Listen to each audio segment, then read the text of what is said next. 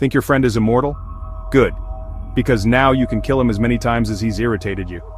And no jail. Five times today? Ten this week? Doesn't matter, he just keeps coming back like some sort of glitch in reality. But what if I told you? There's a real creature that actually works like that.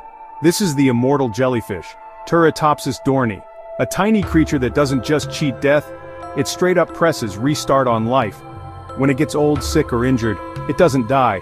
Instead it turns back into its baby form, like Benjamin Button, but even cooler. This wild process is called transdifferentiation.